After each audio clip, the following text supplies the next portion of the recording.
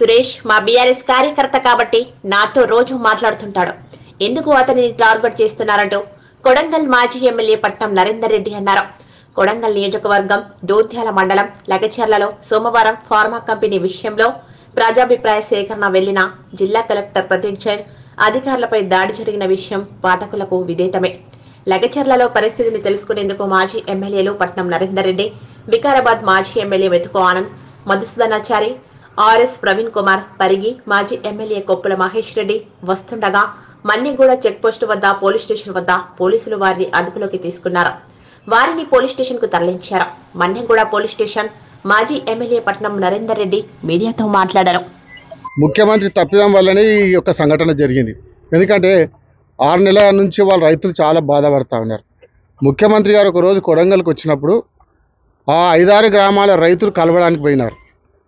ఇక్కడ ఫార్మసిటీ ఏర్పాటు చేయొద్దు. మా పచ్చని పొలాలు పంటల పొలాలు చేసుకుంటున్నాం కాబట్టి ఇక్కడ దాన్ని క్యాన్సిల్ చేయాలి.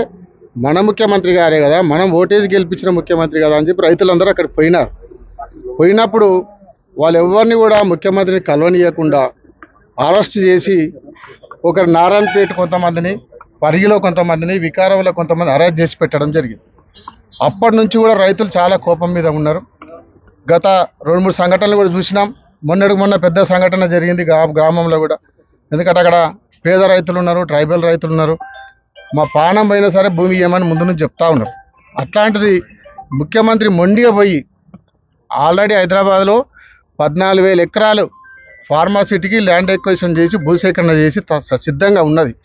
దాని పక్కన పెట్టి దాని సోదరుల కోసమో మరి సొంత బామ్మార్ది కోసం రియల్ ఎస్టేట్ వ్యాపారం చేద్దామని చెప్పి దాన్ని పక్కకు పెట్టి పేద రైతులు ఉన్నారు కొడంగల్ అయితే ఎవరు ఏమనరు అమాయక రైతులు ఉన్నారు గుంజుకున్నామనే ప్రయత్నం చేస్తా ఉన్నారు కానీ ఇప్పటికైనా ముఖ్యమంత్రి గారు బుద్ధి తెచ్చుకొని ఆ భూసేకరణను ఆపాలే.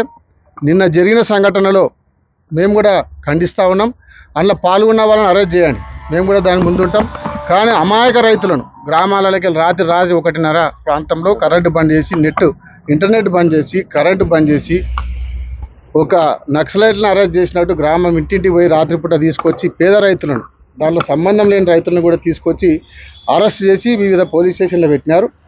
ఒకటే డిమాండ్ చేస్తున్నాం బేషరతుగా వాళ్ళందరిని అరెస్ట్ చేసిన వాళ్ళని వదిలిపెట్టాలని చెప్పి మా యొక్క డిమాండ్. సార్ నరేందర్ రెడ్డి ప్రోత్సాహంతోనే అక్కడ జరిగింది.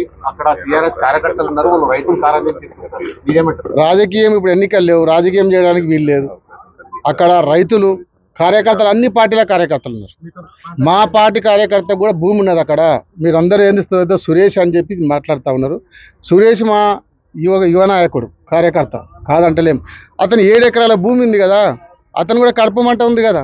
కాంగ్రెస్ కార్యకర్తలు కూడా ఉన్నారు బీజేపీ కార్యకర్తలు ఉన్నారు బీఆర్ఎస్ కార్యకర్తలు ఉన్నారు. అందమంది అందరు రైతులు నిన్న బైకాట్ చేశారంటే నిన్న పబ్లిక్ హీరింగ్ పెట్టినప్పుడు ఒక్కరు కూడా పోలే అక్కడికి. బైకాట్ చేసినారు. అందుకే అన్ని పార్టీల వాళ్ళు చేస్తేనే బైకాట్ చేస్తారు కదా. మరి ఒక ఒక్క బీఆర్ఎస్ పార్టీ కార్యకర్తను ఎందుకు టార్గెట్ చేస్తారు?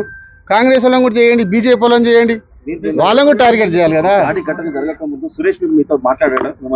రోజు మా మాతో రోజు మాట్లాడుతూనే ఉంటారండి. కార్యకర్త కాబట్టి వివిధ పనులలో మాట్లాడుతుంటారు కార్యక్రమాలలో మాట్లాడుతుంటారు ఏదో పని మీద మాట్లాడుతుంటారు. భూసేకరణ బహిష్క బహిష్కరిస్తున్నామని చెప్పడం నాకు చెప్పిండు బహిష్కరిస్తున్నాం మన గ్రామం అంతా బహిష్కరించండి అని చెప్పి శాంతియుతంగా బహిష్కరించమని చెప్పినాం. మరి బహిష్కరించిన తర్వాత కలెక్టర్ గ్రామానికి పోయింది కదా. పోవడం వల్లనే ఇది గొడవ జరిగింది కదా.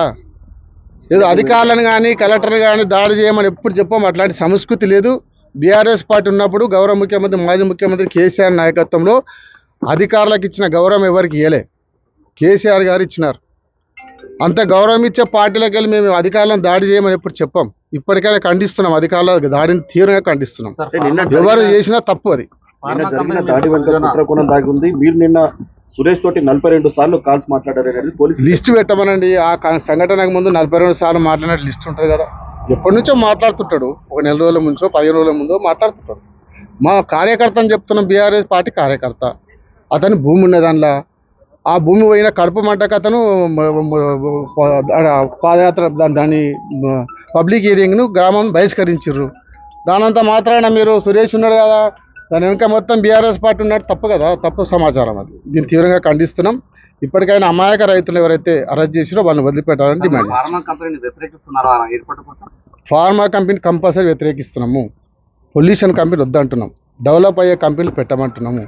ఐటీ కంపెనీ పెట్టమంటున్నాం ముఖ్యమంత్రి గారు ఇంతకుముందు డిమాండ్ చేసినాం. మీరు టెక్స్టైల్ టెక్స్టైల్ కంపెనీ పెట్టమంటాను టెస్లా కారు తీసుకొస్తారా? ఐటీ కంపెనీ తీసుకొస్తారా? టెక్స్టైల్ కంపెనీ పెడతా మహిళలకు ఉద్యోగాలు వస్తే ఆ కంపెనీ పెట్టమంటున్నా కానీ పొల్యూషన్ వచ్చే కంపెనీ తీసుకొచ్చి కొడంగల్ పెడతామంటే మేము దాన్ని తీవ్రంగా వ్యతిరేకిస్తున్నాం.